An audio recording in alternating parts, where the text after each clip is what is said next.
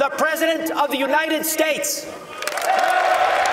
He was walking into the very chamber where just a few weeks ago the President was impeached. Walking as well into a collision with his nemesis, the Speaker of the House, Nancy Pelosi. God bless you, and God bless America. Thank you very much.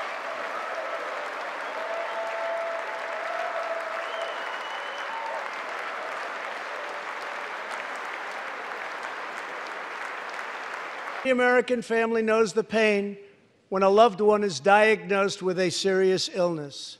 Here tonight is a special man. Now, I don't tend to talk about American politics a lot. But why fuck this is funny. The Democrats in America are really having a bad week this week. And I thought I was having a bad week myself, but the Democrats, oh my god. Wow. And they actually tipped off today with Nancy Pelosi. Um, I think I'm saying her name right. I hope you, I hope I am. And she, I can't believe the actual. Um, Donald Trump gave out his, you know, State of the Union uh, speech, and I spent the good hour watching that speech, and I actually say compared to last year, I still really enjoyed it. And the thing was, it was a massive fucking hilarious. It was really fun. It was really enjoyable to watch. And I actually felt a bit jealous of being British for a minute. And I was like, wow. I must be really proud to be an American if I was one. But Nancy Pelosi has to fucking do it. Funny enough, Donald Trump doesn't even shake her hand. Well, that would happen if you you were the woman who was in charge of doing his impeachment, which did fuck out anyway, because he's still the president and he's still going to be running for the campaign of this year. So it failed, didn't it? Oh, the Democrats are so amazing. I mean, compared to what they did in Iowa, that is that's just oh my god.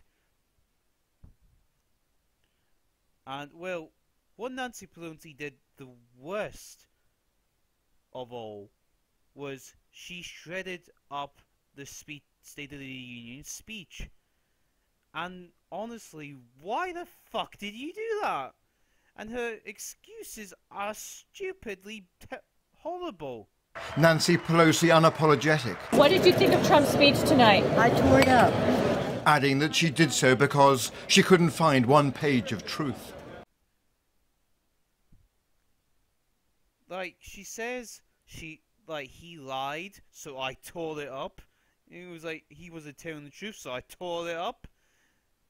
You basically just tore the United States, didn't you? Because if you listen to the entire of his speech, his speech was really motivated. He's saying this is a country of the people. The the economy is going better. You know things have gone better. Things have getting you know some things haven't certainly gone bad. The economy went up when he was in charge. And it was actually not all bad things. Yeah, the, but the only thing that happened was the Democrats getting angry at Donald Trump for being the president. And it looks like they're going to be doing for four more years. Because the Democrats don't seem to like Donald Trump very much. But even though some of them seem to be standing up and applauding his speech, although, you know, he's the opposition, so what are you doing? And then they come down there, oh, we didn't actually support that, but you stood up and applaud his speech. And for the actual, the whole entire video, it was really motivating and moving. And like I said, I really felt like wish I was an American. Because if I was an American, I'd be fucking proud of this speech. And there was that, like, two, three moments where Donald Trump was talking about um, I believe it was somebody, um, somebody's brother who died in the in conflict in outer blood, and then he was like, you know, feel sorry for the, you know, his brother being lost. I think it was, and he was like, veterans, um, talk about people that are earning more money. It's getting better.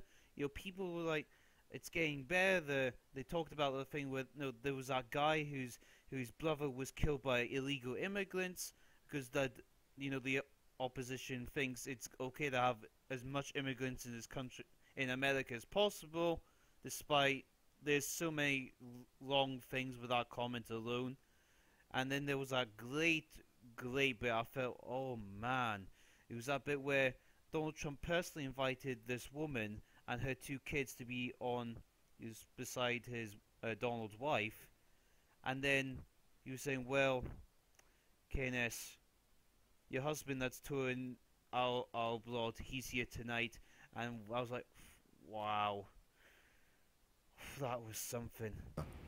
The president asking one military wife and her two young children to attend as his guests. Her husband is on duty in Afghanistan. Then came the plot twist. I am thrilled to inform you that your husband is back from deployment. He is here with us tonight, and we couldn't keep him waiting any longer.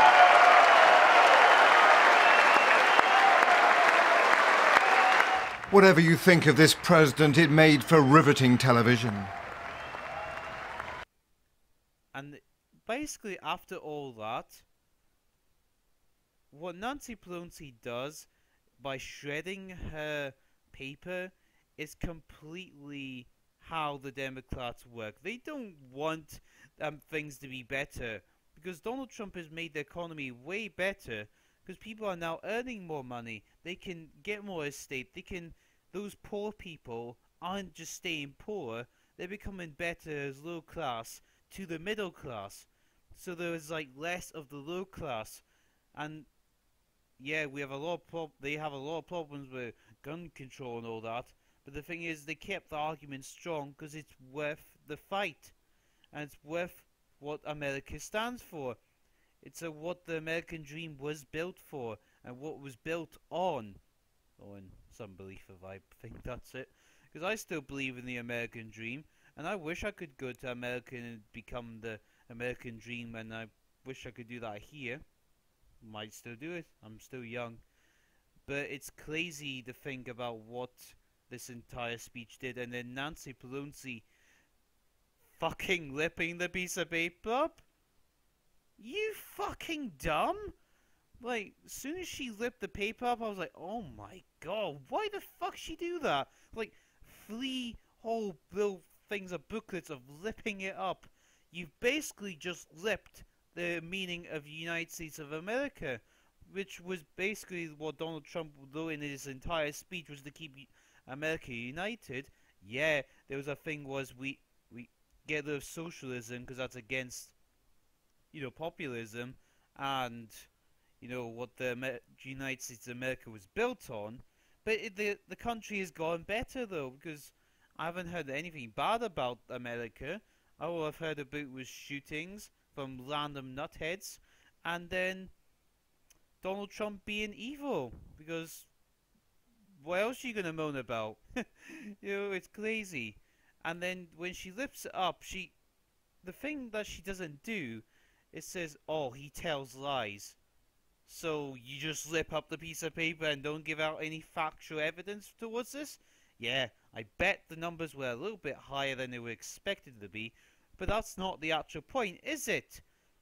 What the point is, is the fact you lipped up the massive State of the Union speech, which was for the United States of America to be behind Donald Trump on, and this is going to be used for his campaign now. Because it's like, well, oh, you saw how Laley acted to when I was trying to make the community come together. you just don't want that to happen at all. Crazy. It is absolutely insane. And she's not even going to come back with factual evidence. And there's even people like AOC that's going up against Donald Trump saying this is a bad speech. And then people are shitting on AOC and Plonsky for that exact thing they were doing going against Trump. Because I bet after the speech goes on, like, like after the speech, I bet after this, um, you know, after the, what you called? I bet after the you know the official numbers come out of how good the actual ratings were for um, this actual speech, I bet they're high. I bet they're higher than they were than the last one. And then the Democrats just dirty shit on their own pants, don't they? I mean, it's not nice to smell your own shit, but the, the smelling your own queefs, Must be nice. So, what do I think about this? Well, Nancy Pelosi, you've put more pressure on yourself because that's what the entire media did to you. They actually looked at you. CNN even said Donald Trump looked statesman. That's a good, powerful figurehead of the United States with a fake tan. Perfect. And, you know, even for CNN to go against Nancy, it's quite something. And support Trump. I think it's quite good. And I'm looking forward for Donald Trump to win this election. I think he will win in a landslide.